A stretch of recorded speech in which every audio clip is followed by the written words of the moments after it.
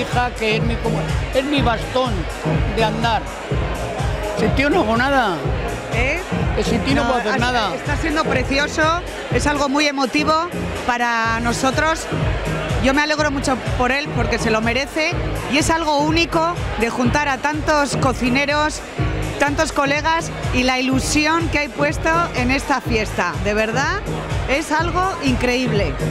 ¿Qué es lo que ha tocado la, la banda? Ha tocado la, la marcha de San Sebastián de la tamborrada, que para nosotros, los donostiarras, es lo más importante. Y él suele dirigir, suelen venir tamborradas al restaurante y suele estar en la puerta el día de San Sebastián, que es el 20 de enero, dirigiendo. Es ¿Te acu- algo Oye, ¿te acuerdas el- Precioso. el día de la, del centenario que vinieron todas? Sí. Bueno, yo eh, me parece, yo estoy muy contenta de estar aquí porque realmente yo he visto toda mi vida eh, el ímpetu, eh, cómo le ha gustado y le gusta la cocina y el respeto hacia sus compañeros. Entonces, qué mejor que el reconocimiento de sus colegas es algo que de verdad es increíble. Me parece la mejor fiesta que se le puede hacer. Ya en esta jornada cuatro manos. Nos va a hablar el director Jorge Mansú de cómo se está desarrollando esta edición de A Cuatro Manos. ¿Qué tal? Buenas tardes. buenas noches. Buenas noches, ¿qué tal? ¿Todo bien? ¿Cómo se está organizando? Cuéntanos tú que lo has vivido más de dentro que nosotros. Bueno, la verdad que sí, es un buen trabajo, es un trabajo duro, pero esta gente entre ellos son amigos y se trabaja muy fácil. Ya es la quinta edición, o sea que ya sabemos de qué va. Muy sencillo, sencillo, muy bien acomodado. Son gente que ayuda mucho. Puente Romano siempre ha sido también porque habéis traído mucha celebrity aquí en este hotel, ¿no? Y es de renombre y habrá fotos por todos sitios. Pero esto de que ahora los cocineros, los chefs, los grandes chefs, sean la celebrity de Puente Romano, ¿cómo se lleva todo? Bueno, se llama bien, estamos, eh, te digo, acostumbrados de alguna manera, pero precisamente vienen aquí por la privacidad que les damos. Eh, nosotros nunca nos vas a oír mencionar quién o cuál celebrity está aquí. Y por eso es por lo que buscan Puente Romano, porque van caminando por aquí y ni siquiera la gente los molesta ni nada, ¿no? Es parte de- del servicio, digámoslo así. ¿Qué, qué plato te ha emocionado de alguno de estos grandes? Bueno, de hoy no me sé el menú, no quise saberlo. Pero de los años pasados, yo tengo debilidad por Ángel León, por Dani obviamente, pero Ángel es para mí un mago. Y Joan Roca es que es imposible decidir alguno. Cualquiera está bueno. Por los sabores del Mediterráneo, ¿cuáles son tus sabores pre- preferidos? Seguro, a mí me gusta más Mediterráneo y pescado. Y verduras, es lo que más me gusta. ¿Habrá una siguiente edición de Cuatro Manos? Pues bueno, eso hay que preguntárselo a Dani. Esto ahora está en el modo de que dice que no, pero yo creo que a la larga dirá que sí. Vamos a ver. Por mí no va a quedar para convencerle.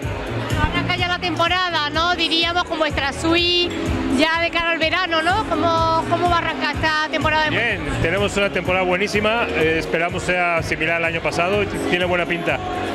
Eh, si la cosa, la economía del mundo y la situación sigue como está, va a ser muy buen año. Se está viendo que va a ser buen año. Muchísimas gracias, enhorabuena por llevar la A dirección. vosotros, a vosotros y a disfrutar. Gracias. Hablamos con el señor Soto, Antonio, que yo tengo muy grandes recuerdos en el Instituto de la Gastronomía, porque además empezamos con esta entrevista de gastronomía donde nos llevas a Ronda, a todo lo que es la comarca, y nos encantaba. Entonces, fíjate, desde aquel entonces, cómo has visto la evolución en que ya estos grandes se han convertido en celebrity. Bueno, eso, eso lo veo maravilloso porque todas estas cosas al final no dejan de dar un reconocimiento a todos estos años de Marbella y, y es- un granito más de arena para que Marbella se vaya siguiendo consolidando y construyendo día a día. Y que la gastronomía va al mismo ritmo, diríamos, en el mismo ritmo y equilibrio que es el sector de los grandes caldos para acompañar. Eh, Hombre, a medida que vamos creciendo, pues la hostelería también ayuda a que crezca también el nombre de Marbella a nivel gastronómico y en este caso, hombre, Dani García pues apostó por una cosa de traer aquí un montón de estrellas Michelin lo cual fue una idea al principio parecía descabellada, pero ha sido una gran y magnífica idea y creo que es un gran revulsivo para empezar allá a coger el ritmito de cara después de Semana Santa y ya a ver si tomamos velocidad de crucero. Gracias. Gracias a vosotros. Bueno, la verdad es que hablamos de los celebrities, de bueno, de esta jornada, pero detrás de todo esto hay también personas que colaboran año tras año, como es mi querida Rocío de Ofiplin, que hace esas cosas tan bonitas y todo lo que es el formato de los flyers, todo lo que nos ha llegado a nosotros, es obra vuestra, ¿no, Rocío? Sí, la verdad que es que todos los años llevamos colaborando con el grupo Dani García cuatro años y desde la segunda edición de A Cuatro Manos somos patrocinadores.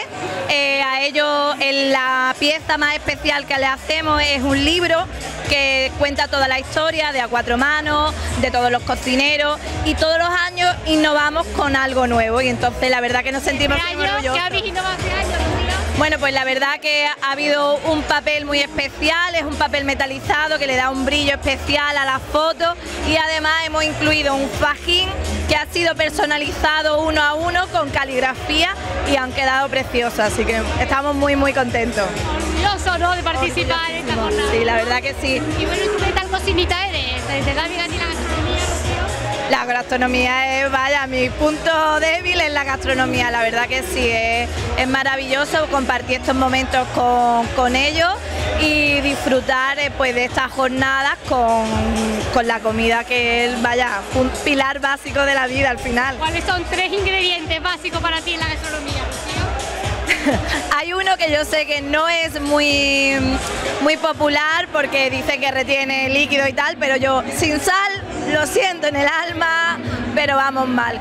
Y después la verdad que soy muy sencilla, me gustan las cosas muy sencillas como puede ser un buen aceite, un buen pan y, poco más. La verdad es que al final estamos en Andalucía, la dieta mediterránea es la nuestra y es, es la que hay, es la buena que te veo yo muy puesta a ti en la cocina, que el próximo año igual te fichan también para la jornada. No creo, no me da la vida para mal, la verdad que nosotros ya con el poder imprimir todo a tiempo, que quede todo perfecto, eh, como nos damos por satisfechos.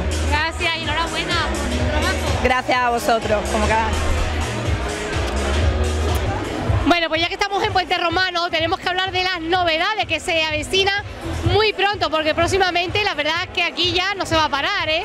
Y todos estamos esperando la apertura también de la ciudad del verano. ¿Qué es, ¿Cómo, ¿Cómo se presenta la temporada de la Semana Santa? Bueno, Semana Santa va a estar lleno. Tenemos cada fin, bueno, cada fin de semana a partir de este, eh, cuatro DJs que vienen de afuera. Va a ser todo un show espectacular. Y el viernes inauguramos el Nobu Hotel. Este viernes hay un gran fiesta en la terraza. Tenéis que venir todos. Eh, se prevé mucha gente ¿no? que vengan este año, ¿no? Sí, este año va a estar a tope. Y además tenemos el evento de Influencers Summit. Hemos invitado a 90 blogueras que van a venir a ayudarnos con la apertura del Nobu Hotel este fin de semana. ¿Has eh, tenido oportunidad de hablar con estos grandes chefs, con estos celebrities de la gastronomía? Sí, bueno. ¿Qué te parece esta edición este Ah, va a estar increíble.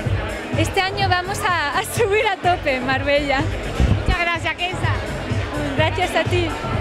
Bueno, ya que nuestro colaborador Zambrano conoce a todos, gran mayoría de los chefs que se presentan en esta edición de A Cuatro Manos, pues ya me gustaría que me hablaras un poquito de ello, para ti, cuál es el, lo que más te gusta por su cocina, eh, qué platos te han emocionado más de ellos, cuéntame un poquito de esta experiencia. Hombre, a mí, a mí personalmente me gusta mucho Paco Roncero, porque me parece que es un chef espectacular, que, de los que yo conozco, me gusta mucho Toño Pérez del Atrium de Cáceres, que me parece un cocinero espectacular, me gusta Ángel León, a ver, me gusta Dani García.